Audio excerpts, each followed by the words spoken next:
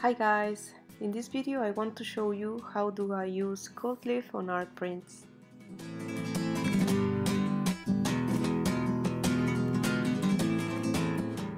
I began with a high resolution photo of an oil painting that I created some years ago, which is now part of a private collection.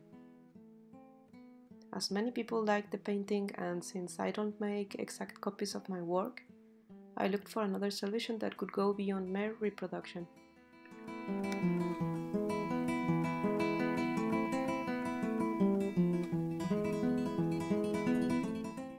I tried this technique on different types of paper and I got better results on 200 grams of archival matte paper.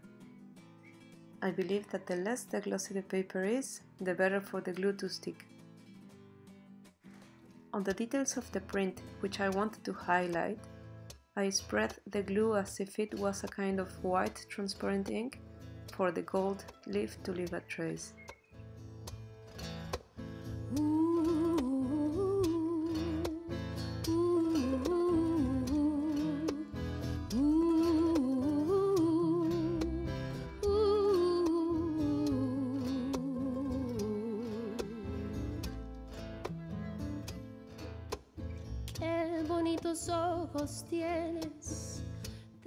The gold leaf is extremely delicate. It feels almost as butterfly wings in your fingerprints.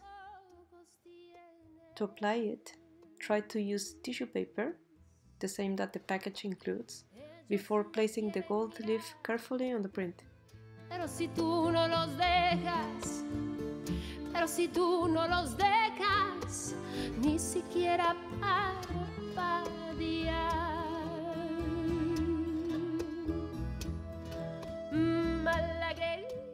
The archival paper that I am using here is an especially permanent acid-free material that helps to preserve documents and the color quality of artwork reproductions for decades.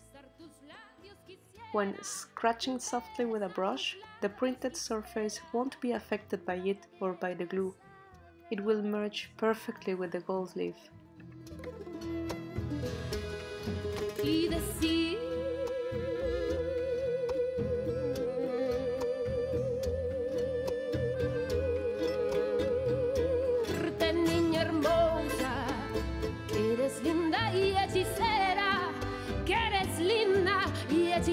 como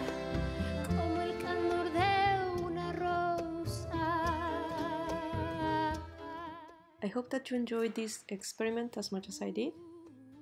I will be showing more gold leaf techniques and other materials in the next videos. If you liked this one, subscribe and I will keep you posted for the next artworks. See you next time then. Bye.